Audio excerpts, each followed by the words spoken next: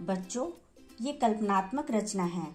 इसमें आपको अपनी इमेजिनेशन पावर का यूज़ करना होता है और उसे फिर पेपर पर लिखना होता है।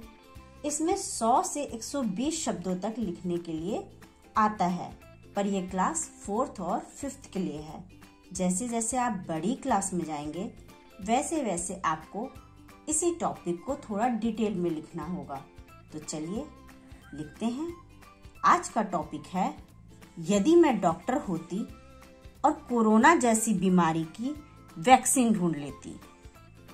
यदि मैं एक डॉक्टर होती तो मेरे लिए यह बहुत गर्व की बात होती।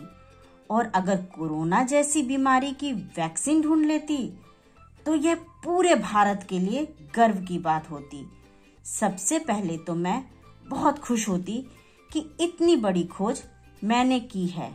मुझे लाखों लोग जो मृत्यु की गोद में जा चुके हैं, उनकी जान बचाने का सौभाग्य मिलता है। यह एक महामारी है, जो पूरे विश्व को अपना शिकार बना रहा है।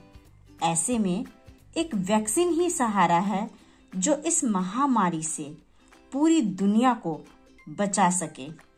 मैं इस वैक्सीन की खोज होते ही पूरी दुनिया में इसका विज्ञापन करवाती और सबको जागरूक करती कि जल्द से जल्द इसे लगवाएँ और अपने आप को कोरोना जैसी महामारी से बचाएँ। सरकार से निवेदन करती कि वह इसे कम से कम कीमत में अथवा निशुल्क उपलब्ध कराएँ, जिससे प्रत्येक व्यक्ति इसका लाभ उठा सके काश सच में मैं भारत का सर गर्व से ऊँचा कर पाती।